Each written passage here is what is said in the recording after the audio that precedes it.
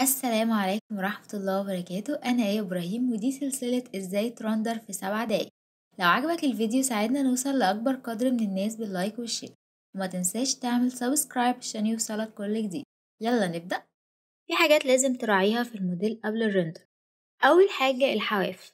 في الواقع ما بيبقاش في حاجة ليها حواف حادة قوي كده. فهنعمل فيلم سرع الفيديو شوية.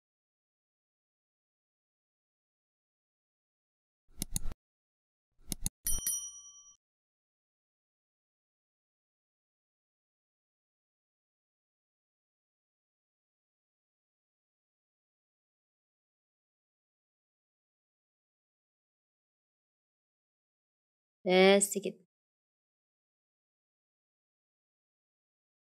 تاني حاجة ال stone. مهم إن ال stone بتاعتي ما يبقاش داخل فيها أي حاجة. زي في الواقع ما يبقاش داخل فيها أي حاجة. هنا لا يذكر مش مستاهلة نتعمل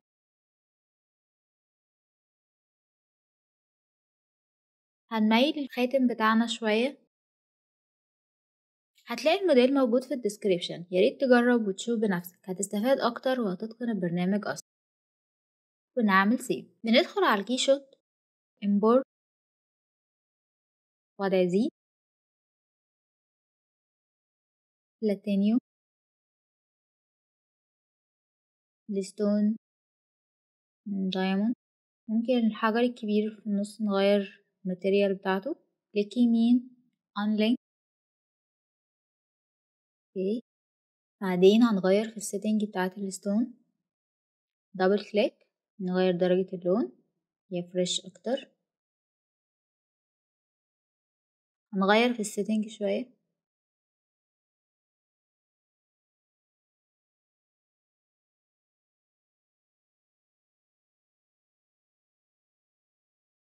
زي ما أنتم شايفين الأماكن الغامقة اللي في الحجر دي ادتني واقعية أكتر. بعد ما خلصت التعديلات بتاعتي في ال material لو أنا هحتاج أستخدم ال material دي تاني ممكن أجي من هنا أغير اسمها بس. ميا dark. بعدين هدوس save to library. هختار gemstone وبكده ال material بقت موجودة عندي ممكن أستخدمها تاني في أي وقت. هنعمل نفس الشيء في الداون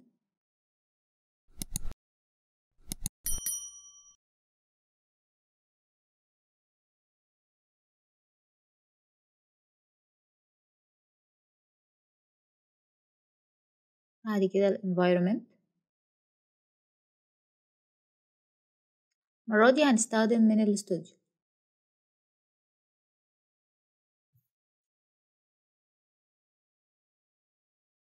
تمام هي بس غامقة شوية افتحها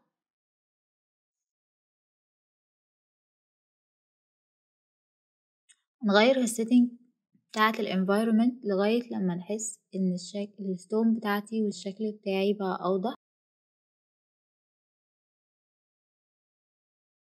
نيجي هنا. بيبقى فيه ظل ليه على الأرض. بيزود الضوء إنه يبقى مسلط عليه أكتر.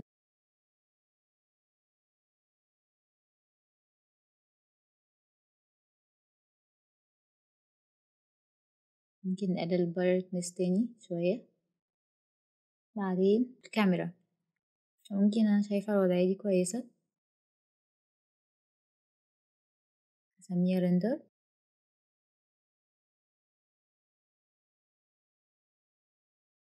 بحيث إن أنا لو غيرت أي حاجة وأنا بتفرج على الشكل بتاعي هرجع لل render يجيب لي الوضعية اللي أنا كنت مختارها. ودلوقتي هندخل على مرحلة ال render في الفيديو اللي فات عملنا render لصورة واحدة. لو ما شفتوش هتلاقي ال link موجود في ال description. المرة دي هنعمل فيديو animation صغير. تختار animation اختار animation wizard دي أشكال للحركة اللي KeyShot موفرها عندي. إن الشكل يتحرك أو إن الكاميرا تتحرك حوالين الشكل. أنا هختار orbit بعد كده بيقول لي أنهي كاميرا اللي عايزاها تلف حوالين الشكل.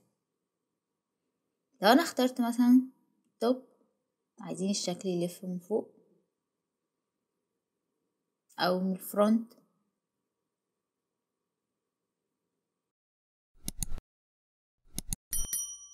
أو الكاميرا اللي أنا already عملت لها save من الأول كاميرا ال render بتاعتي.